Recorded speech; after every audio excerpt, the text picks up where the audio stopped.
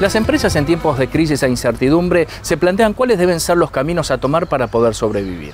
Hoy el 90% de las empresas relacionadas al sector agropecuario ven esta campaña como negativa. Sin embargo, a un horizonte de largo plazo, campaña 2016-2017, lo ven como sumamente positivo.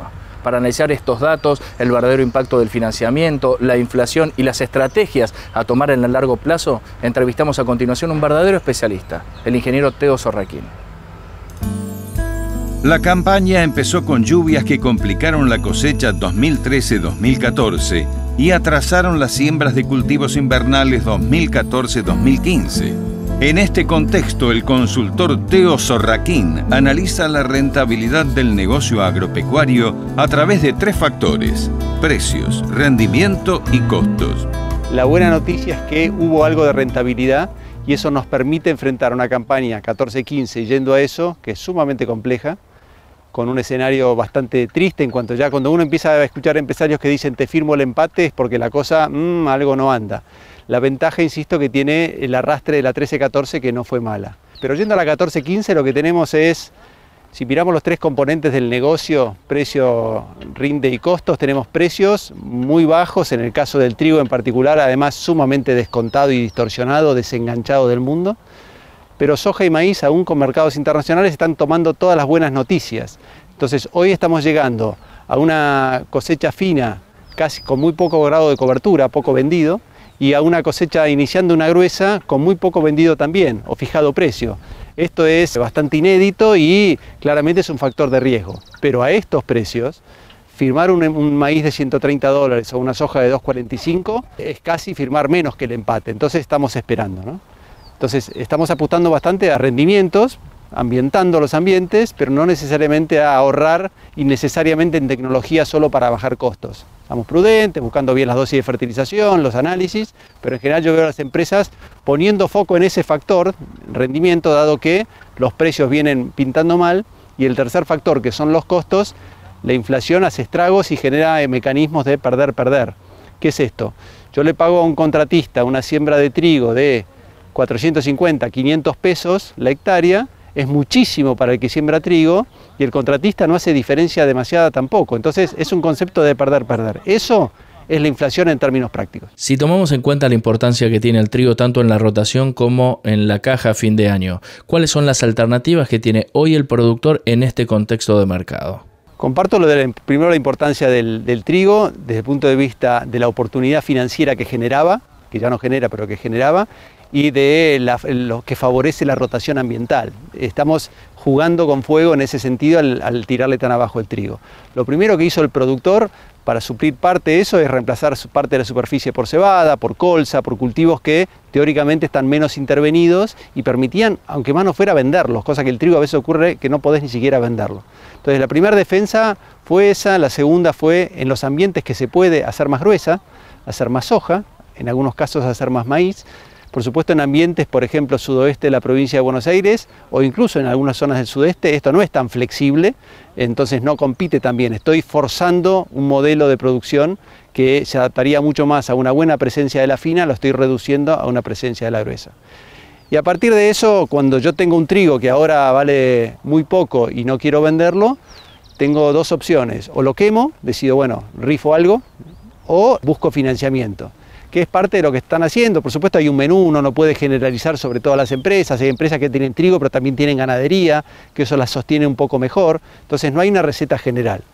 Si hablamos de financiamiento, el financiamiento se están tomando una tasa de mercado, digamos, demostrador vale 30-35% anual, por supuesto hay de menos y hay de más, pero digamos en ese rango, y eso es intolerable en cualquier modelo si no hay una devaluación o un aumento de precios que licúe esas tasas. O sea, tomar una tasa del 35% en pesos, que a muchos nos parecía barata porque estimábamos que por lo menos la devaluación iba a ser del 35%, esto no se está dando, con lo cual si bien falta un rato para llegar a abril, mayo, junio, los meses de cosecha fuerte, me parece que está en revisión si no fue una metida de pata. Ahora, si el financiamiento que hay en el mercado es este y yo necesito financiamiento, o vendo algún activo para financiarme o lo tomo. Bueno, en general yo veo que se están tomando, no solo promoviendo la devaluación, diciendo que con un 40% de inflación o 35 o 25, la mínima devaluación necesaria para acompañar, para dar un marco de competitividad, son valores de esas, de esas características.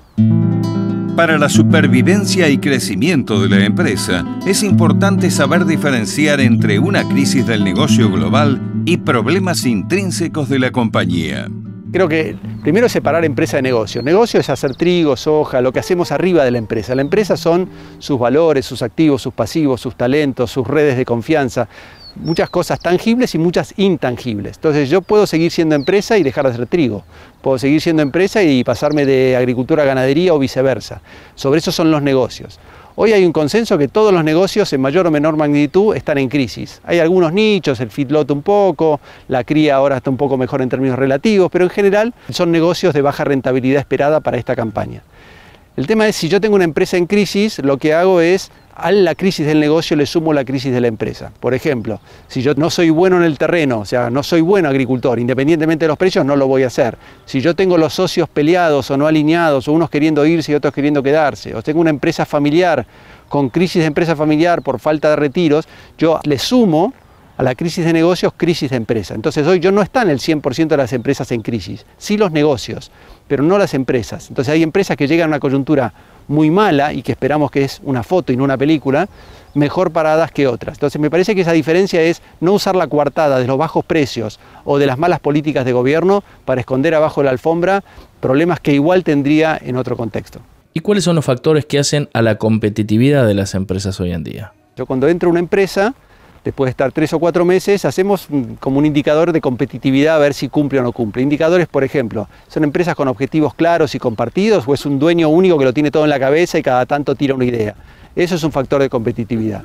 ¿Tengo escala suficiente?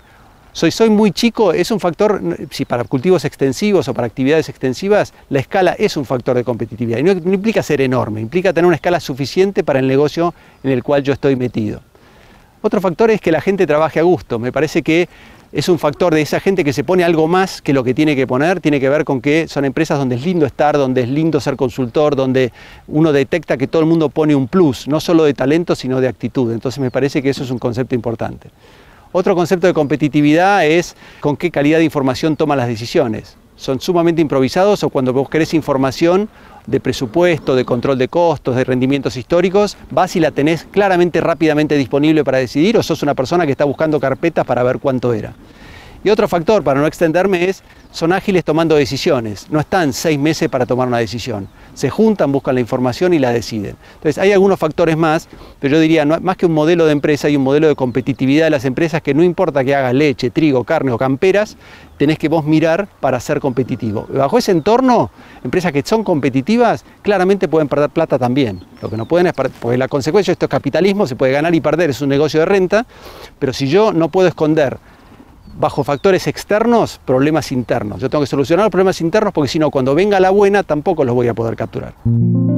Los productores tienen diferentes expectativas para el corto plazo respecto del mediano plazo. Sorraquín advierte cómo influyen estas expectativas en el desarrollo de la empresa. Cuando vos le preguntás a la gente hasta hace dos meses cómo se veía de acá, digamos, a diciembre del 2015, el 80% era medianamente pesimista o más y el 20% era optimista. El último mes, mes y medio, te diría que el pesimismo es arriba del 90%, casi no te levantan la mano. Cuando vos corres esa misma pregunta para el 2017 o el 2018, se invierte la ecuación. El 80 o el 90% es medianamente optimista, dentro de lo que es Argentina, etcétera, pero dicen, quiero seguir en este negocio. ¿Por qué es interesante este concepto? Si yo defino una estrategia pesimista de corto, optimista de mediano, yo cuido mis equipos de trabajo, cuido mis activos, sigo haciendo inversiones, porque cuando venga la buena, como decíamos antes, tengo que poder aprovecharla. Si yo tengo una mirada pesimista, pesimista, hay que armar una salida prolija. Salir es un arte también, fiscalmente, legalmente, familiarmente. Entonces, si yo tengo una mirada optimista, optimista, y algunos hay, porque su negocio o su empresa está fuerte y su negocio no está tan mal, están invirtiendo ahora. Están armando empresas que imaginan que van a poder capitalizar porque va a haber más, más actividad, más inversores, entonces empiezan hoy. Pero en general, yo diría, mediana foto de corto, 14, 15, 15, 16, diría que bajo el clima de negocio que tenemos es medianamente pesimista, más defensivo que ofensivo. Ahora, en el mediano, la mayoría se ve jugando en este negocio y en un entorno un poco mejor. Nadie está pidiendo cero retenciones, que no. Están viendo, dame señales claras, no me intervengas tanto el comercio.